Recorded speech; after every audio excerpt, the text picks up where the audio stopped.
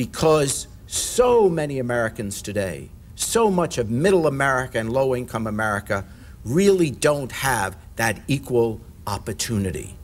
And the reason we are Democrats, the reason we are here, and the reason we should be so worked up about getting people involved is that we really are the only political party that historically, traditionally fights for the opportunity of people that don't have to at least have a chance at the American dream. We do represent that part of America that is so often left out. And that has to be our religion. That has to be the reason we're Democrats. If we're doing well, wealthy people in America, and now I got to be one of them, I got to tell you, don't worry about us. We're doing fine.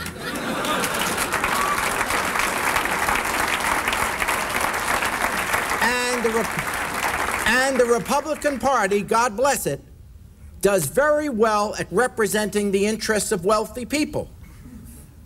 But I got to tell you, most people aren't wealthy. I have lived in this country at every income level that exists, from nothing to, as I said, the ridiculously privileged life I live today. And I got to tell you, it wasn't until I became wealthy that I suddenly saw, oh my God, everything is done for us. All the laws, all the policies are done to protect the interests of wealthier people. And middle America and low income America is not even part of the equation. They're not even part of the consideration. The last to be thought of. If this elitism, which we have out of Washington, it is serious elitism.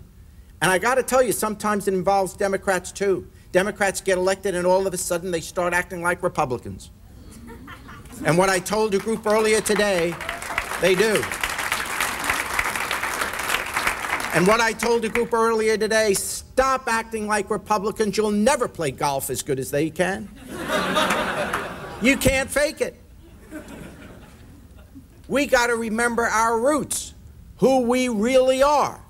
And we exist as a party to fight for people that need protection, need help, want to become part of that dream. And this elitism that we get out of Washington today, which basically protects wealthier interests, if it were only snobbery, if it were only bad manners, we'd get over it. But it's more than that. It becomes policy.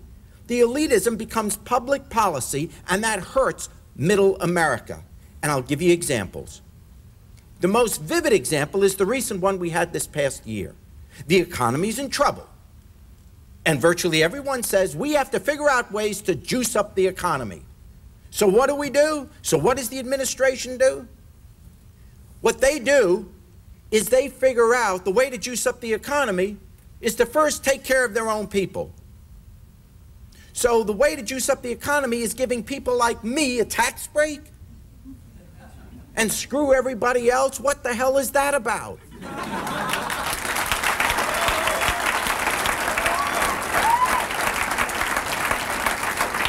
Why, why in God's name are you giving me a tax break for?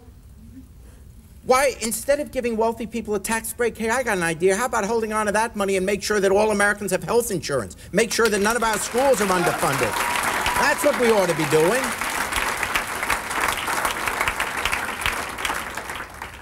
If you let wealthy, with this tax cut where we let wealthier people hold on to more of their money, how do you think that's going to juice up the economy? You think if a wealthy person gets a check in the mail, all of a sudden they're going to go out and spend more? wealthy people can already afford to buy whatever they want. That's why we call them wealthy. the idea is give middle and low income America the breaks.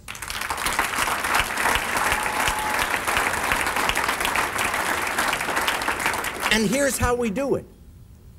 Four out of five Americans pay more in their payroll tax than they do in their income tax. Four out of five Americans pay more in their payroll tax than they do in their income tax. And yet, no one ever talks about relief on the payroll tax. That's the working man's tax. That's the working woman's tax. When you get out of school and get your first job and you're looking at your paycheck you get every week, every two weeks, the first thing you're bitching about is the fact that, oh my God, look how much they took out this week.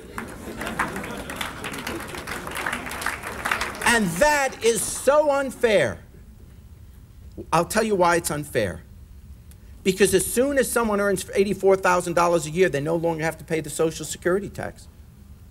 You think that's fair? It means it's a tax that we've created where once you become wealthy, you don't have to pay it anymore. Duh. Here's what I'm suggesting. I don't think anyone ought to pay the payroll tax on the first ten to twenty thousand dollars a year they earn.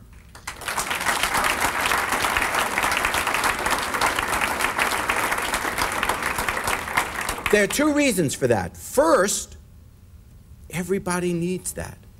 The first ten to twenty thousand dollars a year you earn, that's the money you use to actually live on. That's the money you use to buy food, to buy medicine, to pay the rent, to make the car payment. That's basic necessities. So everybody needs that money. You'd really be helping America out if the administration would say instead of the income tax cut, we'll give you a relief on the payroll tax. Secondly, that's the way to juice up the economy. Why? Because if you let people hold on to the first ten to twenty thousand dollars a year they make, they will spend every penny of it because they have to. So that money does get put back into the economy. That does juice it all up. So there's a way to help out the economy and help out middle and low income America. But the administration doesn't even think of that because no, that's not their constituency.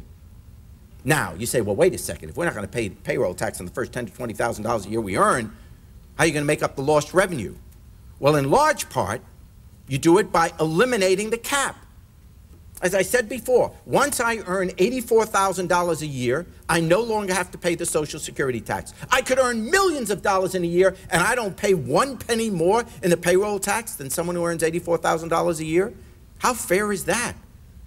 It means, in a sense, that a multimillionaire, the amount that that person pays in payroll tax is less than 1% of their income. And for everyone else, it's 6.5%, 7.5%. You see, that's backwards. So if you really, what we should be fighting for is the interests of middle and low income America. And that means payroll tax relief and eliminate the cap so that wealthy people have to pay the same percentage as everybody else has to pay. That's what we ought to be doing.